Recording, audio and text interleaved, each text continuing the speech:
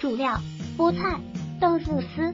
辅料：大葱、陈醋、辣椒油、香油、鸡精、盐、蒜、白糖。用餐人数一到两人。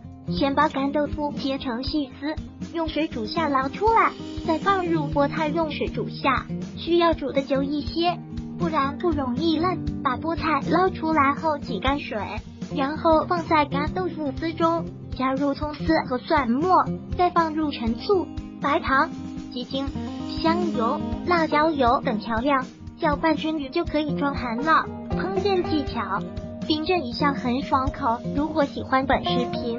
请订阅本频道。